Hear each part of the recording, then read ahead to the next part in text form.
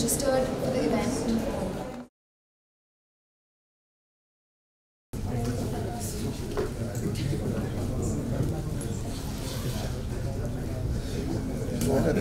the lady. Yeah, yeah. She was uh, the deputy of. Okay, we're going to start. Uh, I'll start by saying thank you so much for being here. Weekend and uh, public holiday. So, uh, thanks once again to everyone who's here and especially our speakers, some of whom who have traveled from uh, other cities. Uh, I'd like to welcome you to Privacy Supreme, which is going to look at privacy post the Puttaswamy judgment. Uh, this event is being organized jointly by Mozilla and the Internet Freedom Foundation.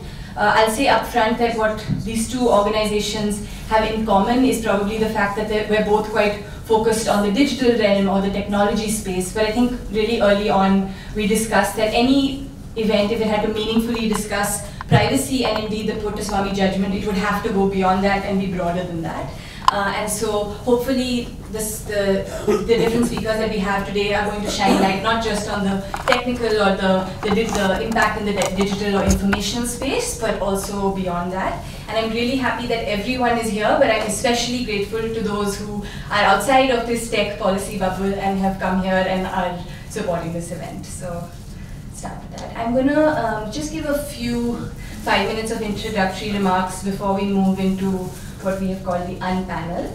Um, but, but before that, before that, in your um, bags, you probably have all, if you haven't already seen this, there are participation guidelines for the event. Um, don't have to, if you haven't read them right now, then maybe there will be an interlude soon enough, and hopefully you do not violate them in that interim period.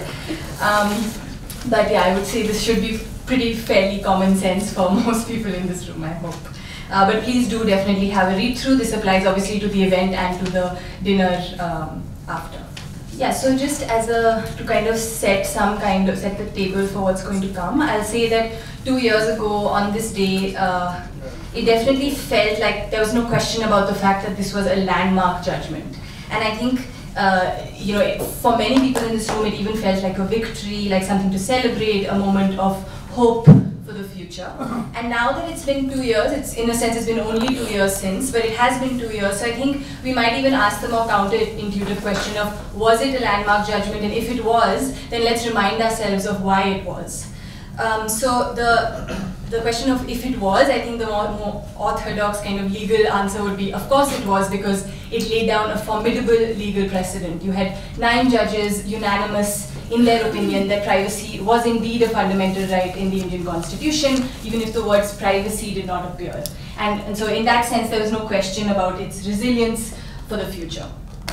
The, the second way of looking at this, which becomes slightly trickier, which is how will this case be interpreted for years to come? And I think here you move from, okay, privacy is a fundamental right, but the interpretive question then became, when there is a privacy violation, how will courts decide whether in fact that violation is constitutional or not? And I think we've seen at least four, and, and there will be more, at least four decisions from the Supreme Court that have applied or relied on this on the Puttaswamy judgment uh, in some way. So uh, I, I won't say the names of the cases, but we saw the decriminalization of adultery, the legality of same-sex relations, the right of a woman to access Sabarimala temple, the legality of Aadhaar. And so if it wasn't clear just from like these four, the four cases that I just mentioned, constitutional scholars are still kind of figuring out what will be the lasting legacy of this case.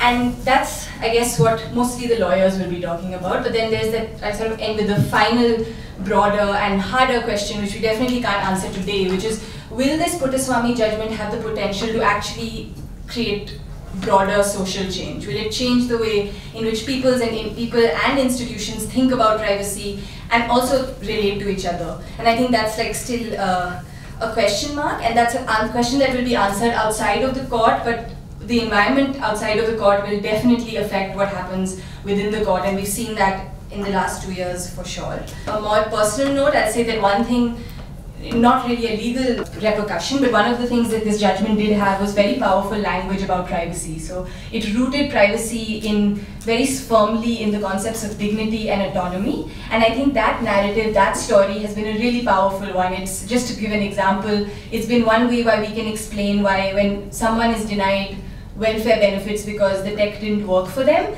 that is quote unquote a privacy issue. And I think for me that's a really interesting way in which the narratives from the judgment are traveling. So I'll end by saying I hope narratives and declarations from this judgment travel far and wide and uh, have resilience over the years, both inside the courtroom and outside, but I would say it's still a question mark whether they will. And I'll let Apar give the more optimistic call to action at the end of the event. So thank you so much, and I'll hand it over to Apar to start us off.